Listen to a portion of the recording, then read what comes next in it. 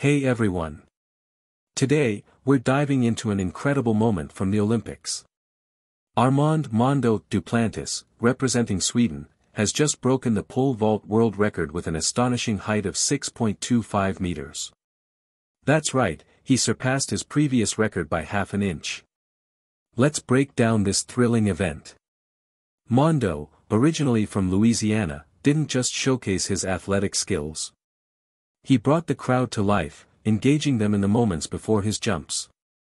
The atmosphere was electric, and you could feel the excitement building with each attempt.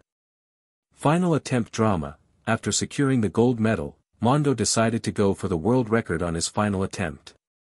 The entire stadium was on the edge of their seats, holding their breath. And guess what? He nailed it. The crowd erupted in cheers as he made history right before their eyes. The pole vault event was nothing short of spectacular. American Sam Kendricks took home the silver, while a Greek athlete claimed the bronze. The competition was fierce, with athletes being eliminated one by one, leading to an intense and exciting climax. Mondo isn't just an incredible athlete, he's also a strategic mastermind. By breaking records incrementally, he maximizes his sponsorship bonuses. It's a smart move that showcases his calculated approach to both his sport and his career. So, there you have it.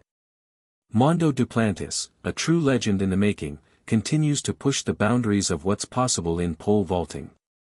Don't forget to like, comment, and subscribe for more amazing sports updates.